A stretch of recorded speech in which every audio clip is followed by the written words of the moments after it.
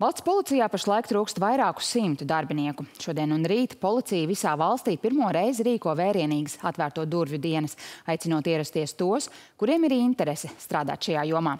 Cik liela bija potenciālo jauno likumsargu interese Valmierā, stāsta Miks Kuncevičs. Labrīt!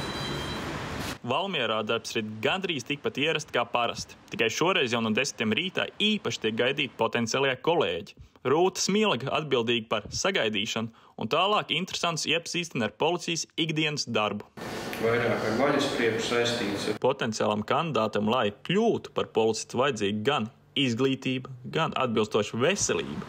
Vidzemē trūkst 56 policijas darbinieki, bet stāvoklis nav kritisks. Nepieciešama speciālista reaģēšanā, izmeklēšanā, un, un arī ir dažas vakānas arī prevencijas jomā.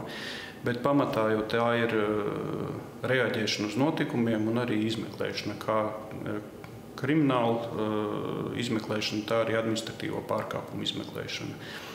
Mēs varam pie, piedāvāt desmit amatus, desmit inspektoru amatus, kuri būtu piemēroti nu, jauniešiem, kuri nesen pabeiguši augstskolu.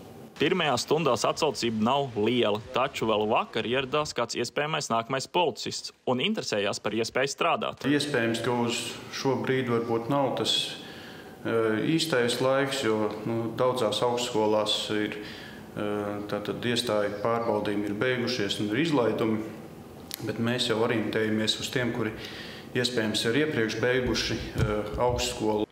Kopumā visā valstī trūkst vairāki simti policistu. Viens no iemesliem - alga pēc nodokļu nomaksas virs 1000 eiro. Pašlaik tiek domāts par lielāku atalgojumu ieviešanu policistiem. Tiek veikts arī citas pārmaiņas. Esam noteikuši, cik daudz amatvietas mums konkrētiem pienākumiem ir vajadzīgas. Jā. Un līdz ar to arī pabeidzot jau, piemēram, reģionu pārvaldēs, kā Vidzemē, Zemgalē, Kurzemē, Latgalē, Mēs šobrīd jau varam redzēt, kur tam arī pēc šīm pārmaiņām mums ir vakances, kādās jomās. Nu, tas ir diezgan atšķirīgi. Vislielākais policistu trūkums ir zemgalē. Tur vajadzīgi vairāk nekā 140 darbinieki. Piemēram, ja Latvijā trūkst 39 darbinieki, jā, ja tas būtu apmēram 6%, tad zemgalē tie ir 142, kas jau ir uh, 20% vairāk. Jā. Mēs runājam tieši par struktūru vienībām, kur notiek nu, lielākais darba, policijas darbs. Jā, tas ir iecirknis, mēs runājam par reaģēšanu, mēs runājam par, par prevencijas darbu organizāciju, mēs runājam par izmeklēšanu. Nu, visās šajās jomās mums ir arī vajadzīgi darbinieki. Atvērto durvju dienas turpinās arī rīt visā valstī, taču policija norāda, Šodien mērķis ir īpašāk pievērst uzmanību darbinieku trūkumam. Tomēr jaunie kolēģi tiek gaidīti katru dienu. Miks Kuncevičs, Latvijas televīzija.